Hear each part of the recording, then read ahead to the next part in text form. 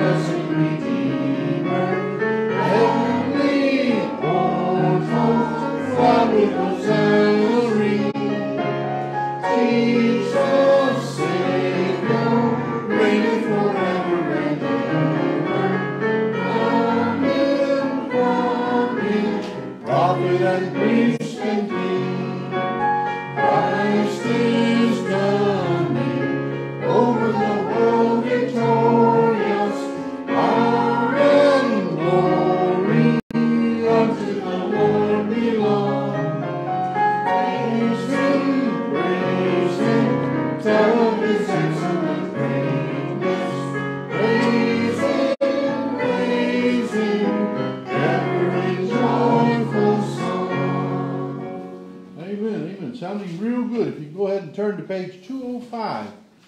205. Faith is the victory. 205.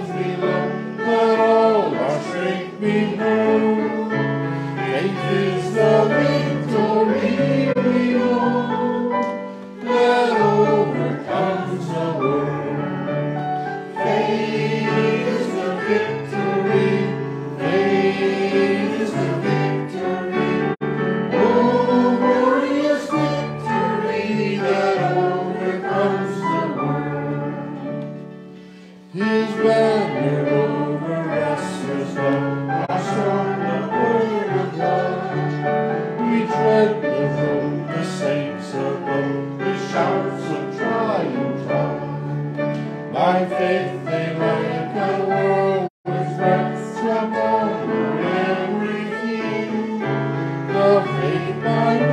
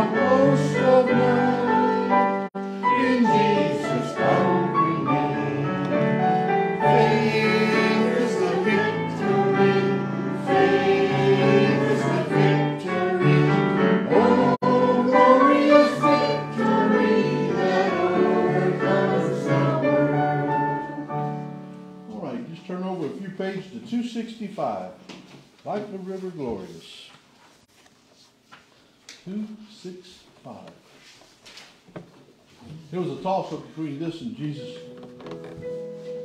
Jesus loves me, right? Yeah. Something about my vision, I don't know.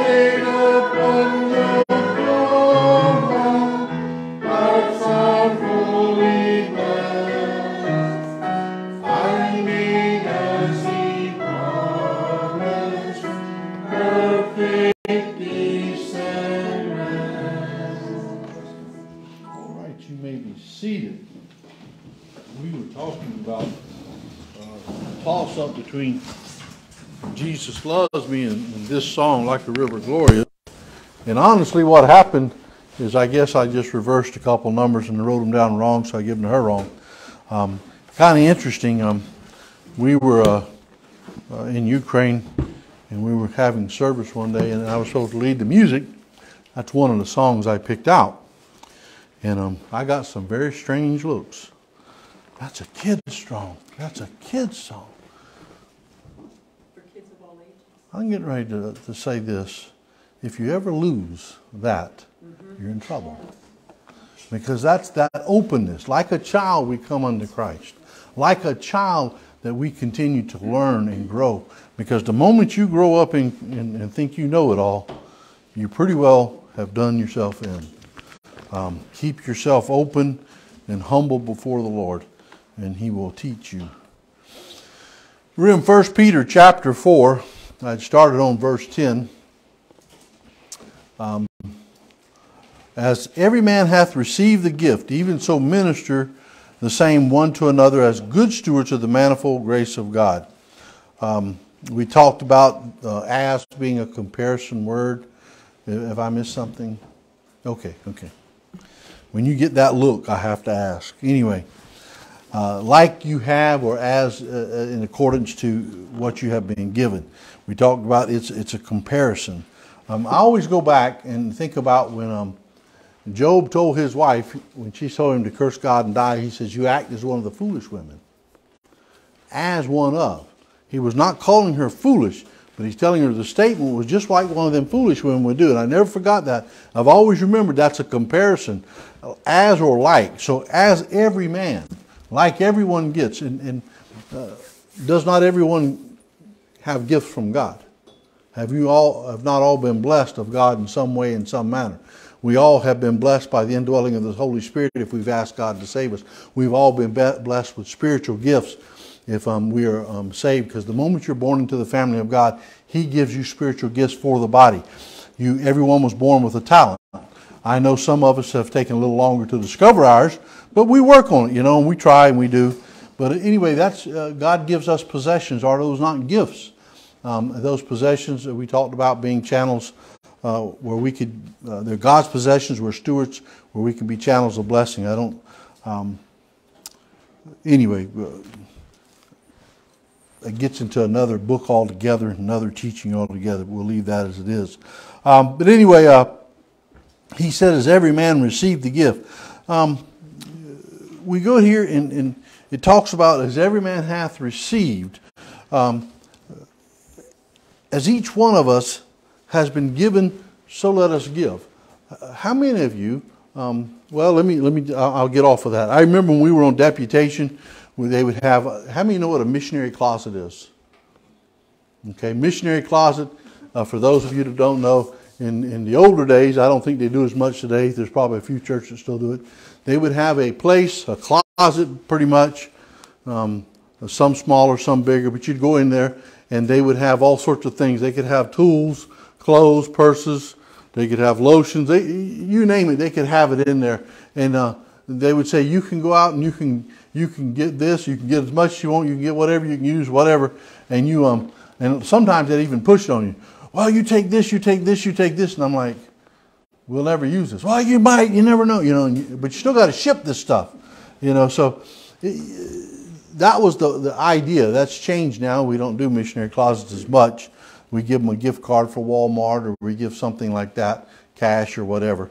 But um, it says, says every man has gift. But I remember we went into one of these places one time and um, uh, my, um, my wife um, got a, grabbed a, a tube of lotion, wasn't it, hand lotion? And it went something like poof. It'd been there so long it blew up. Okay? but uh, that, that's, that's really, when you look at this, and, and I know it sounds a little negative, we, we, we kind of laughed about it, but through that, and, and through that time, we end up getting, could, would it be fair to say around 100 things of lotion and stuff? Would, be, would that be fair? We just had tons of this stuff. I mean, I told them, I said, people, my wife can take a bath in this every night and still have it. I said, this is, you know, we did not understand the concept of channels of blessing at that point. We were not mature enough. Uh, we just really weren't. You know, here I was, I was a weekend alcoholic, I was a drug addict, a drug user. I'd gotten saved, and within a few years, I went through Bible college. Well, you're not mature when you come out of Bible college, people. You have a lot of knowledge, but you don't have maturity. It takes ministry to mature you. It takes time with God. And so we were still very immature in the Lord, and we have all this stuff, and we're thinking, what, what can we do with it all? Duh. You know, it took us a long time to finally figure it out. We should be giving this stuff away, you know, because these are things God give us. Does that mean we don't use what God give us? No. He gives us enough for us, but when he gives your cup full and running over, let it run over. Let it go out, you know. And, um, and so we learned that. That was a lesson for me personally, was embarrassing to learn. Because I should have already known that, I felt like, you know. That, that when God gives me more than I can use, He gives it to me so I can give it to others. Uh, but anyway, we both learned that very well. But as we received, as God gives us, whether it be our abilities, whether it be possessions, whatever He has given us, let us use that to, um, uh, to, to minister. But I want, I want to say, I want to give a little differentiation here. I want to, I want to uh, point out something. There are several ways that people look at this. Some people say, this here is, is speaking strictly for those that are in the ministry. As every man has received the gift, even so minister the same one to another as good stewards. I'm not totally convinced because when we go to 11, it says, If any man speak, let him speak as the oracles of God. If any man minister, let him minister.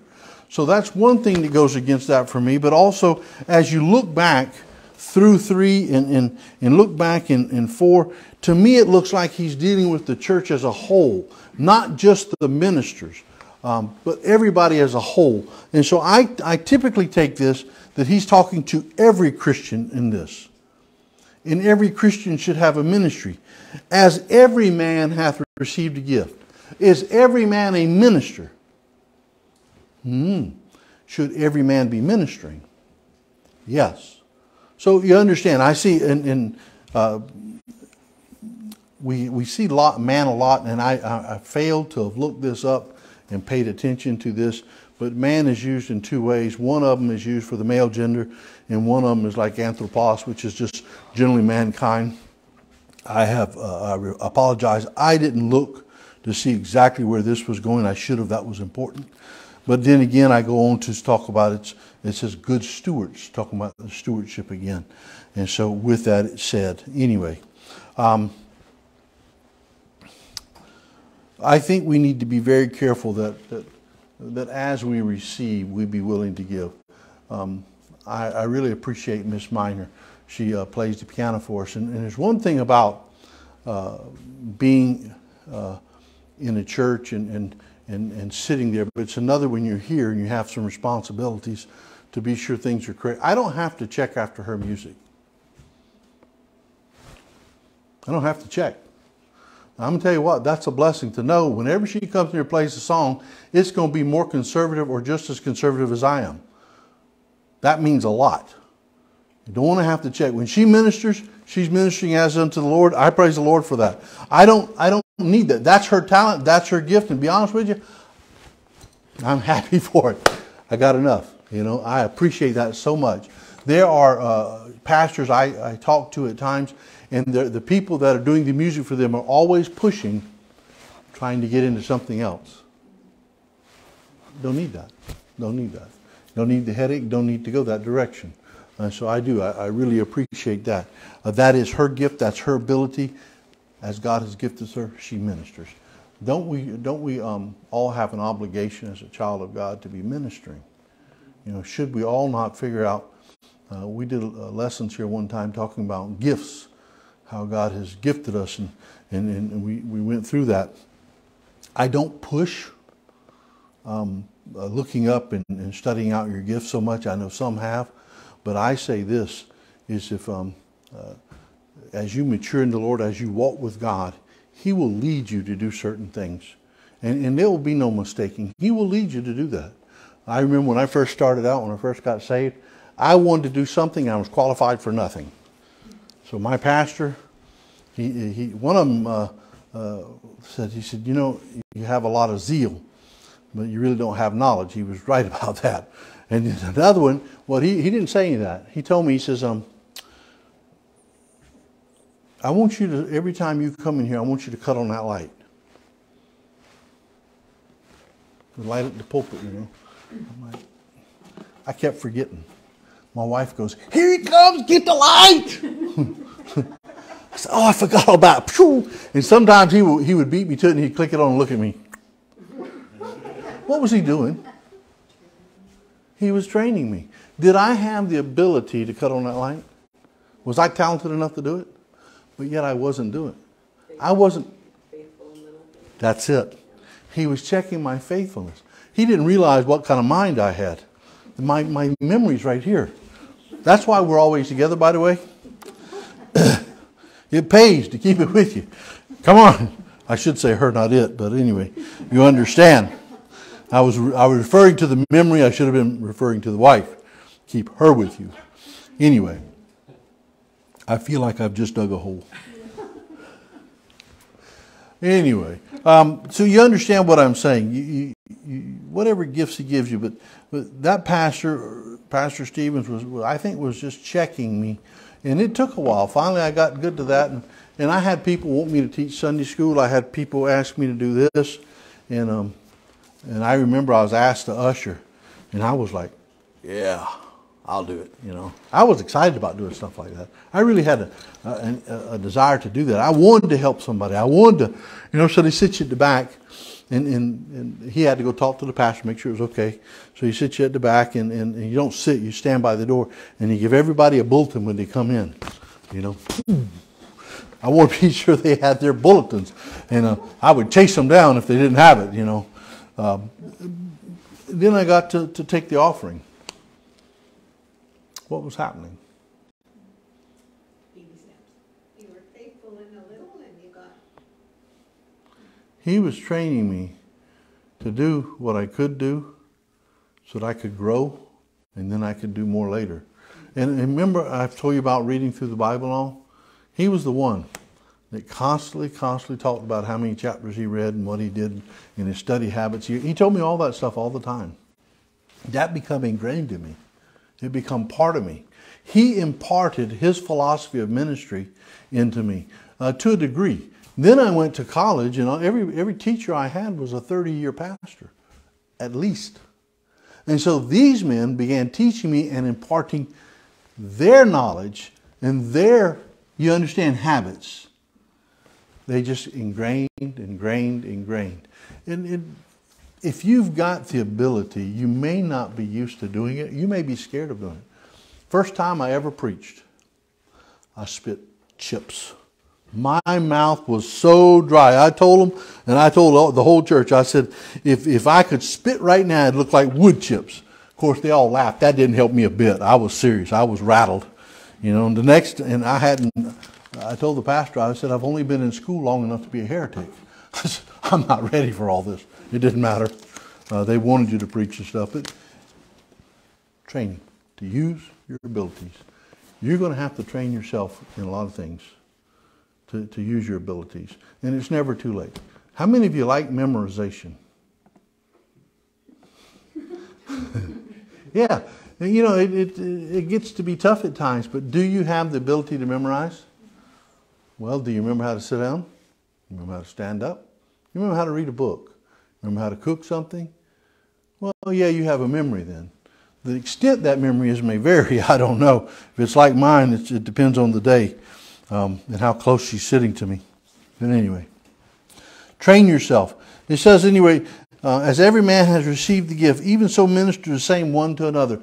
Learn to minister to each other. Learn to, to be involved with each other, but not only with each other, but with others. And then he goes on to say, as good stewards of the manifold grace of God, interesting wording here as good stewards. This word good, I went back and looked at it. This idea was the idea of honest or genuine. That kind of struck me. A genuine steward. When, when I see that in front of a word, could that mean, it, it kind of triggers in my mind There is also there's a real and there's a fake. There's one that pretends and there's one that's actually genuine. There's there's the real deal and there's the fake deal. We're to be real stewards. We're to be actually managing our lives and everything God's given us for Him. Manifold grace, varied grace. What is, what is the idea when you, when you think of manifold? When, when, I, when I say manifold, what do you think?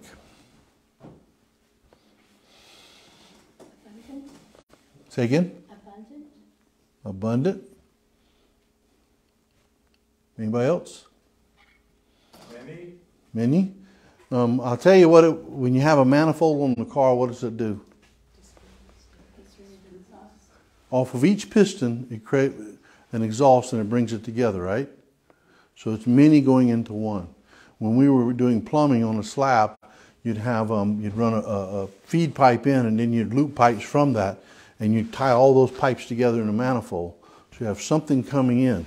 The manifold grace of God. If we're good stewards, when He pumps that grace into us, we split it out and take it to the other parts. Where he, it's not where we want, it's where we, He wants. But the manifold is the various. How many graces, how much grace does God have? Does He only have grace toward one of us? Does He only have one type of grace to us? You know, when I look at this, I think of God has been graceful to me in many ways. Gospel, God has been graceful to each of us in many, many ways. And we can't, I don't think we can count them all. That we can sit here tonight with a Bible that we own, sing songbooks, have a place that we can gather together and preach and teach the Word of God and meet together in fellowship around Christ, that's abundant grace. Because there are people that cannot do this, and there's people that do it with risk of their head, literally risking their lives to do it. And so, what a blessing. How much have we been blessed? And a lot of time we don't even realize how much. Um, let's go on down to 11. It says, If any man speak. Again, I get this idea of any man. Any of us can speak. If any man speak, let him speak as the oracles of God. Again, this is, there's several different ways. There's, I found two thoughts on this, uh, or two schools of thoughts on this particular verse. Um, and I'm a, I want to bring out both possibilities, and uh, you can decide.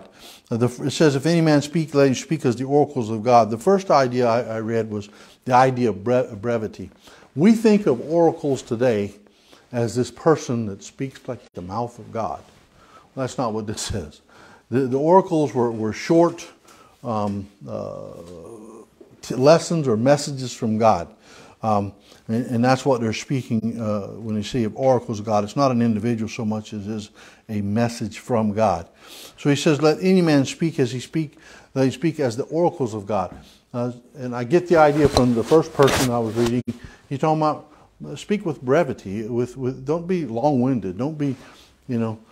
Have you ever got around people that, that they just talk, talk, talk, talk, talk, talk, talk, talk, talk, talk, and you can't get in a word edgewise?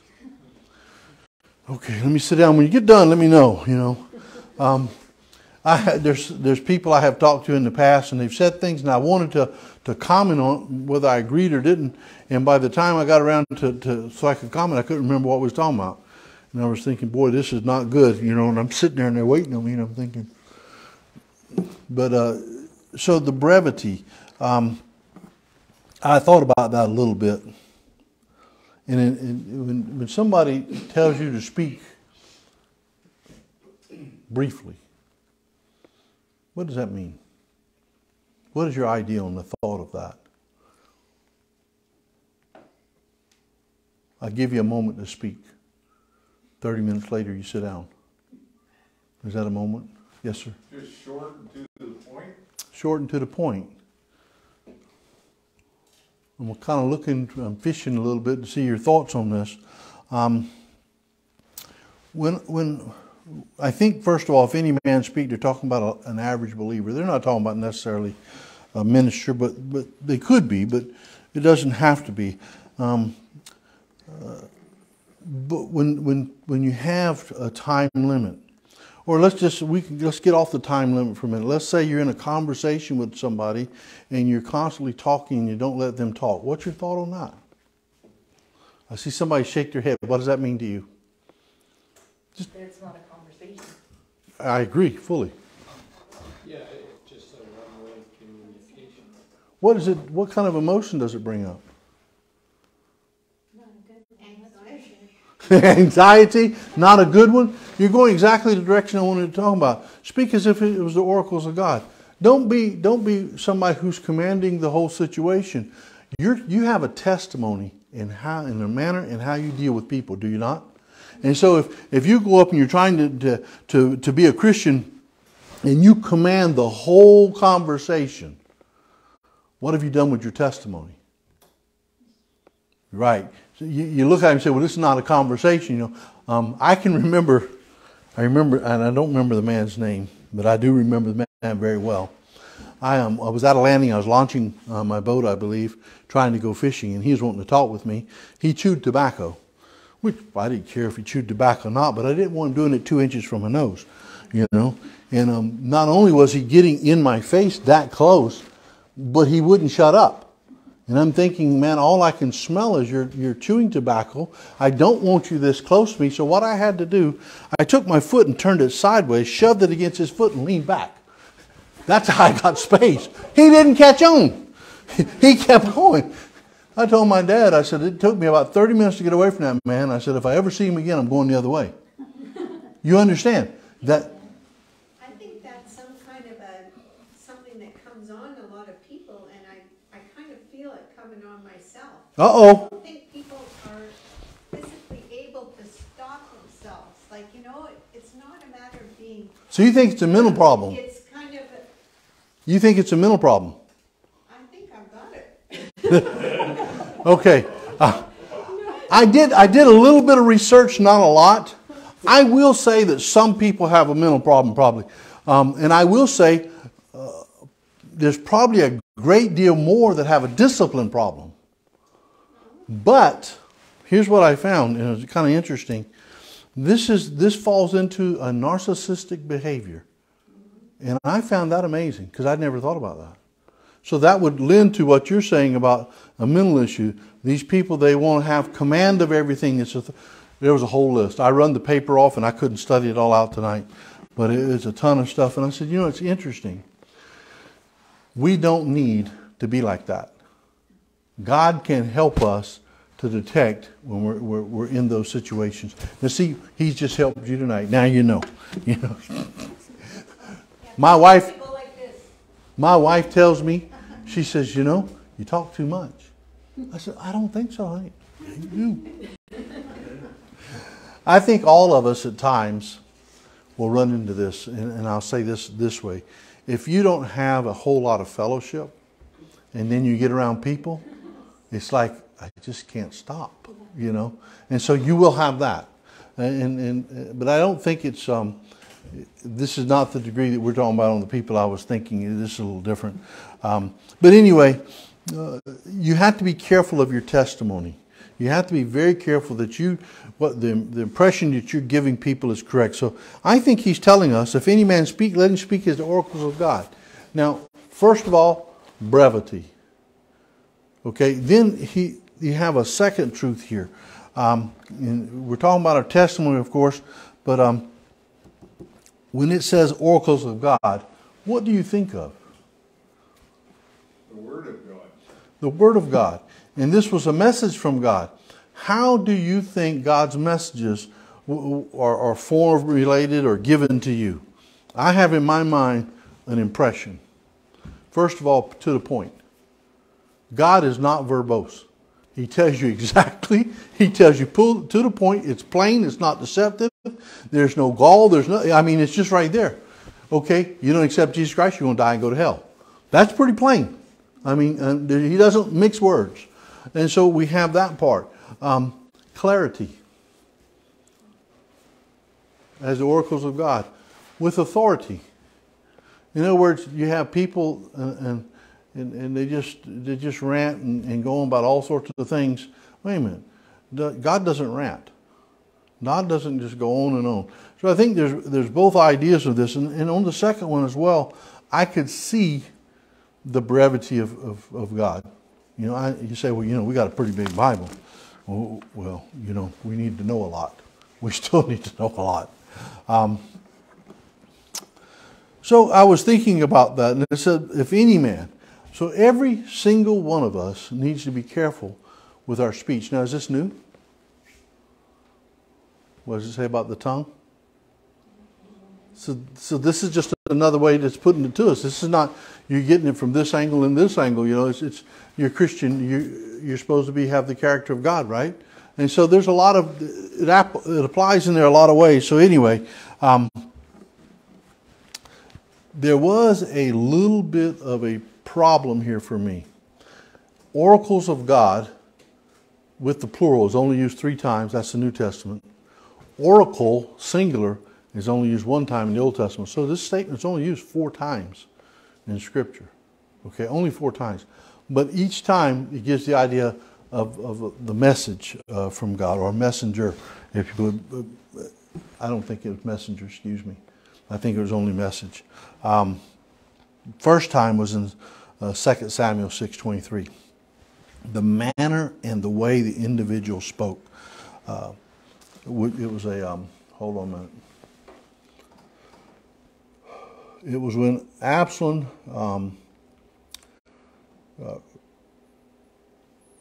took over the kingdom from David, and he had two, and I can't remember the name, the, the, the Archite, and, and I forget the other one. But anyway, one of them spoke as, as the oracles of God. And anyway, his, his counsel was overturned. So anyway, the, I get the idea that when somebody speaks that way, they're speaking with, with uh, concise words. They're speaking uh, they're making sense. They're speaking with wisdom. There's a, there's a, there's a gravity to their speaking. It's, it's honorable. Um, anyway. Uh, then he goes on and says, next, if any man minister, this covers those that would minister. Now, here's a question I ask myself. When it, when it tells us this in 11, if any man Speak, let him speak as your God. If any man minister, let him do it as of the ability God which God giveth. Does this necessarily say that the minister and the, the everyday man are in different categories? Does this actually separate them? We can all have a ministry. Huh? We can all have a ministry. Mm-hmm. I agree. But if any man minister, this, this, most scholars say this is talking about those who are preaching and teaching. This second part, there's a differentiate. You know, if any man, and then if any man minister, there's a little difference. So would you think that the first qualification also goes to the second? Or as it goes without? I think it would go. If God requires it of everybody, would he not also require it of those that he's called to do more? I think they have a greater responsibility. I think they would. Um, I don't think it, it's kind of interesting. I don't think it nullifies either one. Um, I think we both are to minister to the ability which God has given us. Um, and I think as we minister as God has uh, given us and the abilities God has given us, we glorify Him. We bring glory to Him. Uh, I, I, tell you what th I think about when I read this. The people with the talents 10, 5, 1. Those that, that use the 10, they, they put it to the market or, or they had the abilities and they double it. Great glory to God. But what did that one do? What do we do when we don't use the talents God has given us? We hide it. We secret it away. And I think that's very important to understand that uh, God doesn't want you to do that. He wants you to use the ability. And when you do that, you glorify Him with your life. It says that God in all things may be glorified. And then it says through Jesus. And then we end up to whom be praise and dominion forever and ever. Um, dominion uh, was an interesting word as well on this. Um, I was trying to think, I was trying to read actually to where I I had written this, written this down um, about this dominion. And I, I must not have put it on this piece of paper because I don't have it. So I can't tell you. Goodness, I didn't write it in my Bible neither. I feel so bad. Praise and dominion. No, I don't remember. Anyway, uh, let's go on to 12. I'm, I don't remember, so I can't tell you.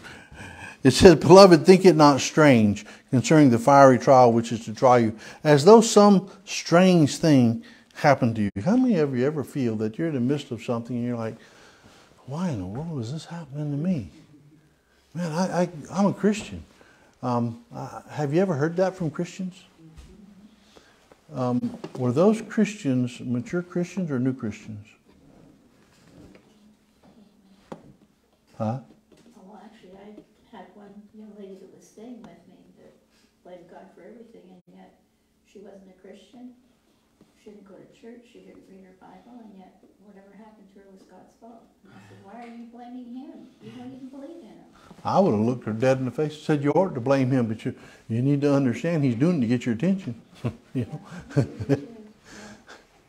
you know um, I don't know. It's when I when I look at this and said, Think it not strange concerning the fiery trial, he, he starts off with beloved. And that word gives you is defined as esteemed or, or worthy of love, favorites. But this is really speaking to those in Christ, beloved, fellow brethren, uh, fellow servants of God, or however you want to, to, to, to say that, kindred spirits. Um, think it not strange. Don't, don't look at this as, um, don't be shocked. Don't be surprised when God allows these things in our life. I have found that there are a lot of, of the younger Christians, sometime I talk with, and a few older ones, um, but I would not say very mature, and they, they act like, why am I going through this? Well, why do you go through this? Why is it not strange for a Christian to have all these things happen in their life? These fiery trials. Please don't, don't tell me you don't have the answer to that one. Refiner's fire. Refiner's fire. I love that. You just hit me right on the head. That's exactly where I wanted to go. Um, we are being, and I'm leery about using this idea. We're being tried. I don't really like that as it's used. I know that um, some people will say that we're being tempted, and I really don't like that as, as well.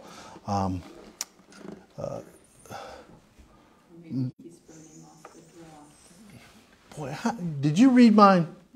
No. You, you're, you're getting this. Um, the word translated as fiery trial here is actually in the Greek is um, pyrosis, pyrosis, um, and it's defined as calamities or trials that test the character. Right. Um, the picture, that word, and that picture of that word is derived from. In other words, it's the figure of it and, and, and how it comes about in their mind is derived from that refiner's fire. The, the standing over there and, and that the, that metal. Could you say when you put metal into fire that that's a calamity? It gets hot, it gets burning, it gets glowing, and um, then they draw it out. Uh, and if you're talking about refining, uh, that's a uh, boy. I had to do some some uh, some interesting study on this. Um, there's several stories and, and I guess they happen in different times. One of them is a refiner sits over, and, and I don't think it's silver and gold. I really don't. There were three metals that were very popular from antiquity: copper, silver, and gold. Those were the three that was refined first, and then you go into tin, and I forget the other one. Iron was not done a lot, okay, but those other ones were. Uh, but anyway, they would take in, um, and they would. Uh, taken and heat it up, and as it melted, he'd watch it. And the story is that that, that refiner was looking to see his reflection in there. Now, that was probably the earliest. And I don't know that that was silver or gold. Some people say it is, some people not. I couldn't really lock it in. But here's the one, if you know what an ISBES is, it's a, it's a theological dictionary. Um, uh, so I, I, picked this up and got to looking, and this is what they said. They would take uh, gold ore, they would crush it into little size, lentil, little pea size, right? And then they would take it and put it on slabs of granite and powder it. And once it's powdered, they would run water across to wash the dirt and organic matter away. Then they would gather what was left of the metal and they would dry it. Then that metal would go into what's uh, their version of a crucible. And in that crucible, they put lead, they put um, uh, bran, and they put salt. They brought it to a molten state and it stayed five days. At the end of five days, it was considered purified, That amazed me. Now, this is way back in antiquity, too, you understand. This is not just yesterday. They had that knowledge. And I got to thinking, if they knew how to do that with gold and purify it, does not God know how to do that to us? And we get in the middle of these fiery trials and we're, we're we want to get out of them. And God says, you hold on. Don't get out of it yet. I go back to the lesson that the, we were talking about in um, Paul says, I endured, but God delivered. You wait on the master to get through what he's doing. And when you come out of that, you'll be what he wants you to be. But what we try to do, we try to get out of it. You know, we want to get out before five days in the molten state. I think I've been there. Now, I know I'm a little over, but let me just add this in and we'll be done with this one. Um, as I looked at this, there, there's a lot of interesting, I mean, uh, there's just tons of interesting things that they did with silver and, and different things, but um, uh, I look at this fiery trial when we talk about this as God hammering out our lives, if you would. I probably shouldn't use the term hammering, but He's He's bringing out areas in which we have problems or weaknesses. He's looking to to improve. Uh, I guess I should actually say remove the impurities and take and reinforce the weak areas in our life. We understand that, but do we realize what God can accomplish in our life depends on what kind of metal He finds in it. Think about it. You can't take tin and refine it and get gold. But if you refine gold, you get something much more precious. But what kind of metal would he find in us? As God's refining us, what kind of metal is he finding? Because if you get a real base type of metal, what happens? You don't get a whole lot out of it. I mean, it just it disappears. It's more dross and you don't get anything. So it's very interesting um, to think about. Uh, the only question is what kind of metal he has to work with in your life, what kind of metal we are, because the character of our metal, what we are, limits what the metal refiner can do. You can only take tin to so far. You can only take copper and silver to so far. You know, you got to, so it's the metal. How much are you willing to let God refine you? That would be the metal. Anyway, um, any questions? Anything you want to add? Question? Would that tie into God making vessels for honor and vessels for dishonor? Like, is that, could you put those things together somehow, or is that Okay, I'm going to tweak what you said a little bit. God doesn't make a vessel to dishonor. God makes vessels to honor. We determine whether we, whether we will be honorable or dishonorable. In other words, uh, I know where you're going because I just preached on that not too long ago. But we, we determine whether what kind of vessel we're going to be. God has made you, and, and, and when you say to dishonor, you, you're, you're kind of like saying, well, some people God is going to appoint to hell and some of them to heaven. I believe every, every person on the face of the earth can go to heaven, but it's a matter of whether you choose to be. I believe every person, I don't care what's happened in your life, I don't care what you've been through, I believe right now every person on this earth, if they choose to, can bring glory and honor to God. Okay, I think the dependency is whether they will or not, whether they, whether they will be the kind of metal he can refine. You know, and I, I think there's a, a tie into there, Sue. Uh, what, what will we let God do in our lives that we might serve Him? How far are we willing to go? You know, are, you, are we willing to say, okay, Lord, my life is yours. If you wish to take it, take it. If, whatever, you know. Or you have the open hands is what Dr. Childs always said. Here's my life. You take it. What do you want to do? I'll agree to anything.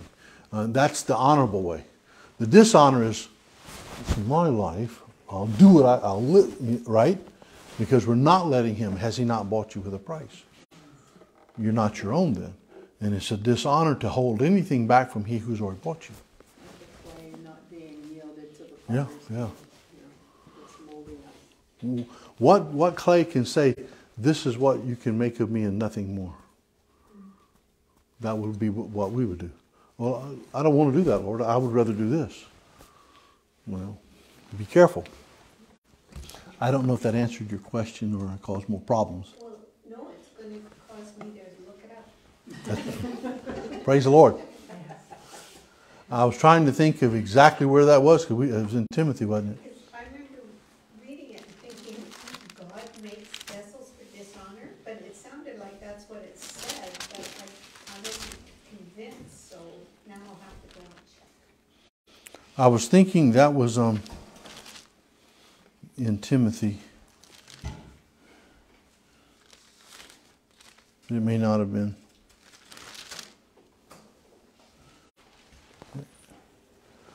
Anyway, I, I don't have uh, the ability to look it up at this particular stage. Anyway, any um, anything else? Anybody want to add?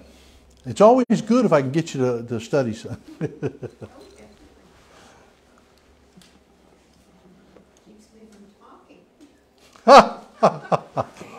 I'm not touching that. I am not. I am not. All right, let's go ahead and cut that off. And um, uh, we got a few.